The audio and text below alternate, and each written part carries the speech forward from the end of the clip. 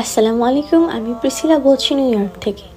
আট বছরের একটা বাচ্চা ছেলে, এক টাকার একটা কয়েন হাতে নিয়ে দোকানে গিয়ে বলল, আপনাদের দোকানে কি আল্লাহকে পাওয়া যাবে?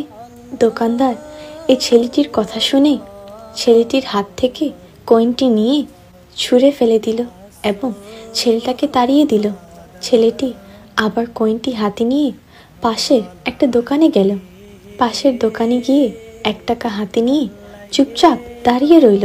দোকানের মালিক জিজ্ঞেস করল, এই ছেলে, এই এক টাকা দিয়ে কি চাও তুমি? ছেলেটি আবার উত্তর দিল, আমি আল্লাহকে চাই। আপনার দোকানে কি আল্লাহ আছে? এই দোকানের মালিকও ছেলেটিকে ধমক দিয়ে তাড়িয়ে দিল, এই অবুজ শিশুটি কিছুতেই যেন হাল ছাড়ার নয়। এক টাকা হাতে নিয়ে দোকানের পর দোকান ঘুরছে এবং জিজ্ঞেস করছে আপনার দোকানে কি আল্লাহ আছে? আপনার দোকানে কি আল্লাহ আছে? ঘুরতে ঘুরতে চল্লিশটা দোকান ঘোরার পর এক বয়স্ক দোকানদার শিশুটাকে জিজ্ঞেস করল আচ্ছা বাবা, কেন তুমি আল্লাহকে কিনতে চাও? কি করবে আল্লাহকে দিয়ে? শিশুটা এই প্রথম কোনো দোকানদারের মুখে এরকম কথা শুনে যেন আশার আলো দেখল। শিশুটা ভাবল, নিশ্চয়ই এই দোকানে আল্লাহ আছে? শিশুটা তখন বিনয় সহিত উত্তর দিল, আমার তো বাবা নেই। এই দুনিয়াতে আমার মা ছাড়া আর কেউ নেই। আমার মা সারাদিন কাজ করে আমার জন্য খাবার নিয়ে আসে। আমার মা এখন অসুখ হয়ে হসপিটালে ভর্তি। মা আমার মরে গেলে কি খাব আমি?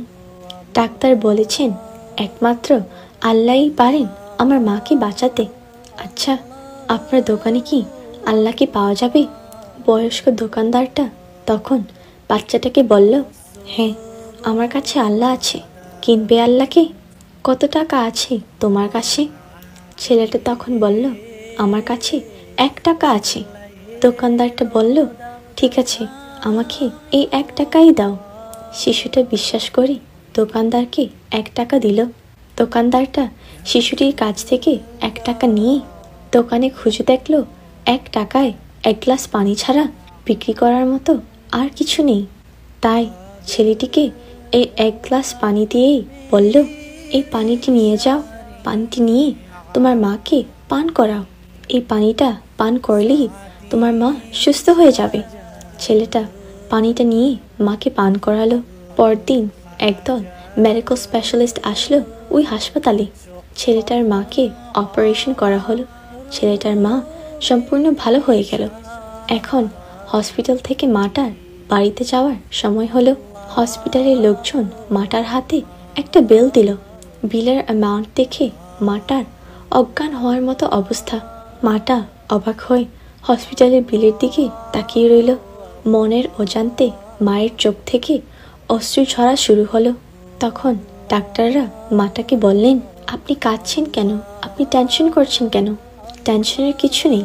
একজন বয়স্ক ভদ্রলোক অনেক পূর্বেই আপনার হসপিটালের সব বিল পরিশোধ করে চলে গেছেন। এই ভদ্রলোকটা আপনার জন্য এই চিঠিটা রেখে গেছেন। মহিলাটি ধীরে ধীরে চিঠিটা খুললেন। চিঠিতে লেখা ছিল, মা, আপনার এই হসপিটালের বিল দেওয়ার জন্য আমাকে ধন্যবাদ দেওয়ার কোনো প্রয়োজন নেই।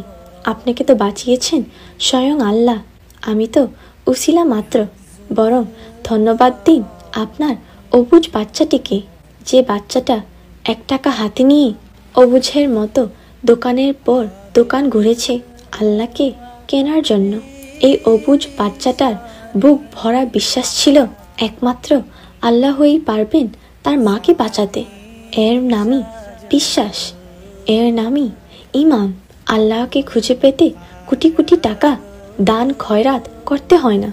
মনে দৃঢ় বিশ্বাস নিয়ে মন থেকে খুঁজলে এক টাকাতেই আল্লাহর দেখা মিলে। এখন রমজান মাস। আসুন সবাই এই রমজানে প্রাণ খুলে সৃষ্টিকর্তাকে খুঁজি। সৃষ্টিকর্তার কাছে ক্ষমা চাই, যেন সৃষ্টিকর্তা আমাদের এই মহামারী থেকে রক্ষা করেন। আসুন বেশি বেশি প্রার্থনা করি, বেশি বেশি ক্ষমা চাই। যদি আপনার সামর্থ্য থাকে, আপনার আশেপাশের লোকগুলোকে একটু হেল্প করবেন। ভালো থাকবেন সবাই। আসসালামু আলাইকুম।